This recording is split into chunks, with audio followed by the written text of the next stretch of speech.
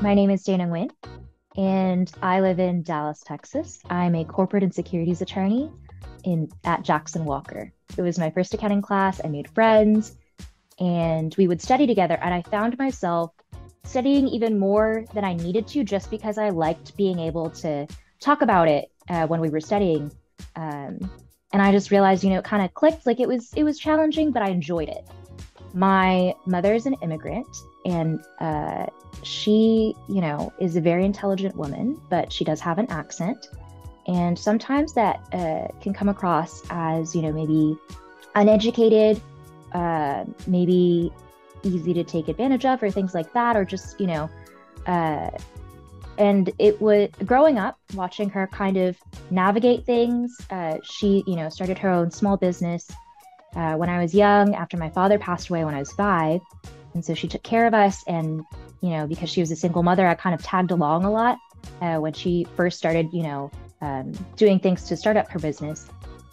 And I saw how, um, you know, people didn't really, they took the, the accent difference as, as almost like an understanding barrier and not just, you know, uh, for what it was.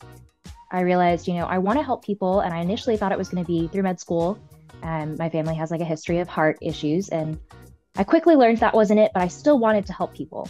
And I remembered back to when I was younger, after my father had passed away, and I tagged along with my mom, and I saw her struggle to just start her business.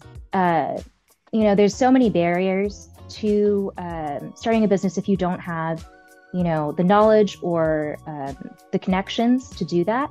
But in addition to that, you know, it's for my mother particularly, yes, it was a different language, it was English. But generally, for a lot of people, the law and business are completely different languages as well.